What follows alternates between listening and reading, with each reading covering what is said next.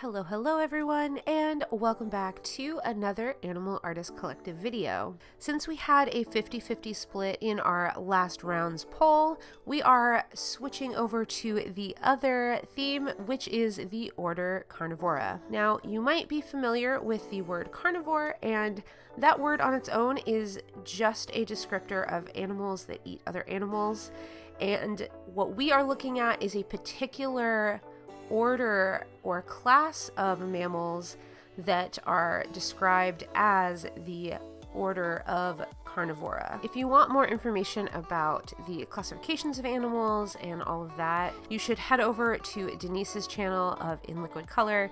She is the one that always has all the amazing animal facts, as well as I'm sure a lot of the other artists this round will have even more information about this distinction, but I figured I would mention that because that was something that I had learned for the first time. Now, on to the animal that I have chosen.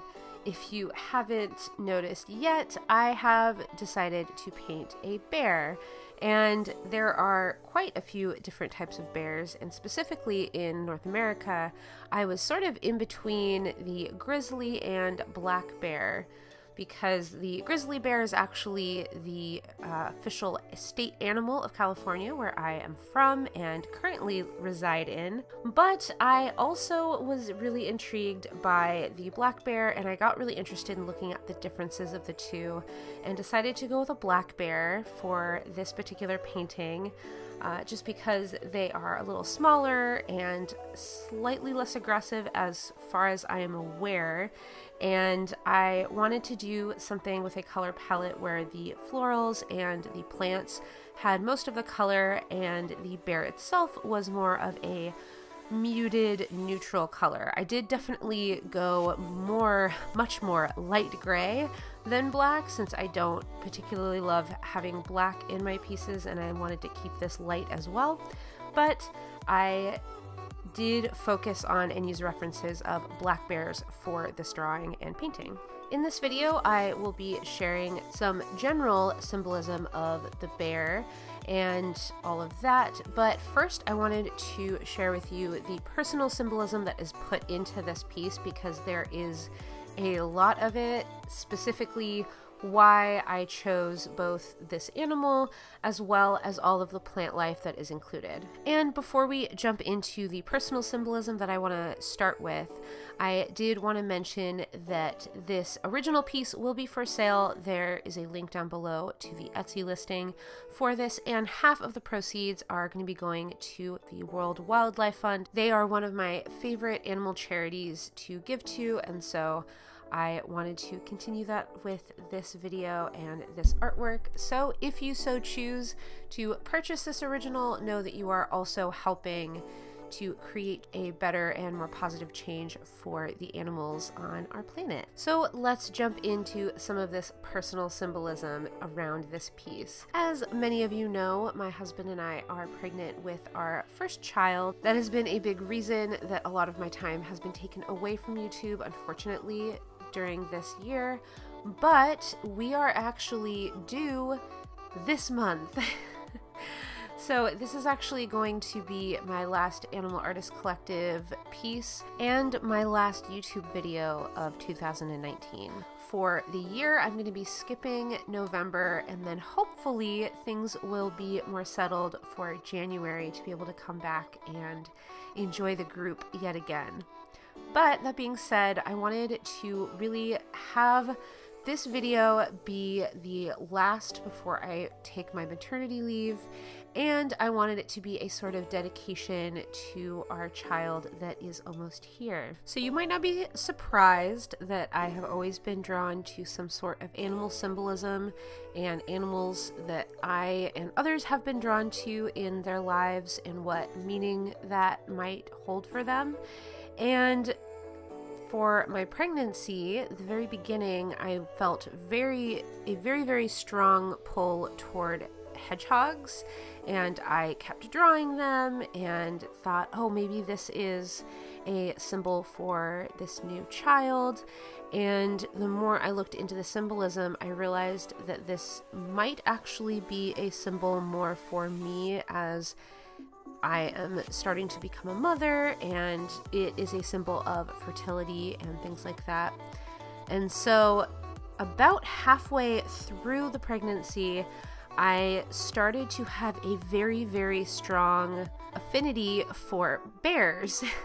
so, teddy bears, and I mean, just any kind of bear and started to realize okay, maybe this is actually in connection to our new baby.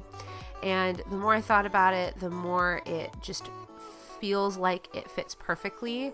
And so when we were talking about doing the order carnivora for this round, and I realized bears were definitely in that group, I knew that I had to do a painting dedicated to our new child that we are expecting in just a few weeks. I ended up picking a black bear just because I do believe that they are smaller more gentle and can be a little cuter sometimes, depending on the reference you look at.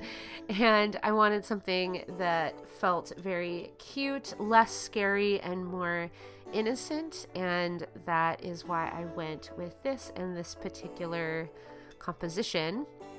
And then, as far as all of the florals go, aside from the succulents, which I obviously like to add to things, I wanted to add very symbolic flowers to this piece as well. So we have the orange poppies, which are from California specifically, that is our state flower. And that is where I have grown up and still currently live, like I mentioned. And my husband is actually from Colorado, and the state flower there is the columbine. And so I I have added those in as well.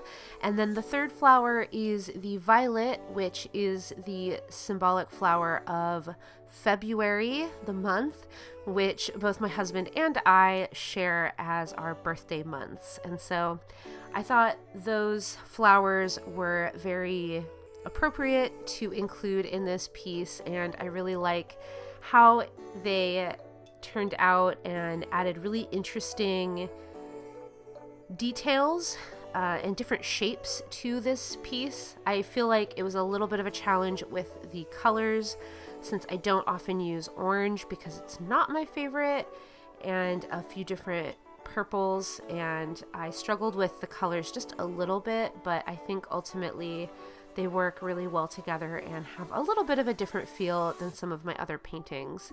And of course, the symbolism of these actual flowers and using the correct colors ended up being the most meaningful thing in this piece. And so I am excited that I ended up pushing through and really enjoy how this finished piece looks. Before we get into more symbolism, let's talk about a few fun facts about bears. There are eight species of different kinds of bears in the world.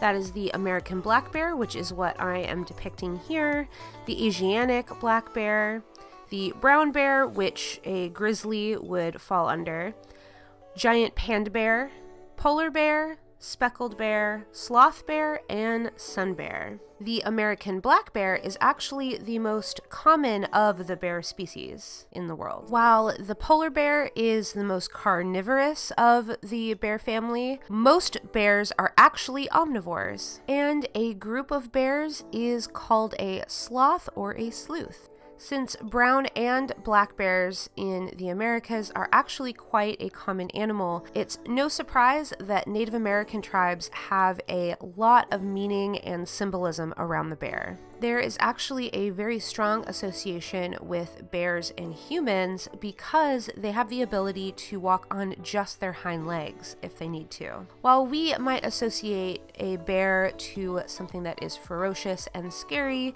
there's actually a lot of symbolism around the bear and wisdom and confidence and introspection. Just think about how bears are known for going into their caves to hibernate for the winter. This is very symbolic of their sort of inner wisdom or searching inward and taking respite to find the truth in life. There's definitely also that association with strength and specifically standing up against adversity. It was really interesting looking up these facts and symbolism, and I am really curious to find out if our child will have any of these kinds of traits and be similar to the bear. On that note, I would love to hear in the comments if any of you have a very strong association with bears or if that is a favorite animal of yours. Let me know down below why you think that you identify with the bear so much. So that is going to be it for me today. I hope you enjoyed hearing about the process of this painting. And again, it is available for sale on my Etsy shop. I do have a link down below. Half of the proceeds will go to the World Wildlife Fund.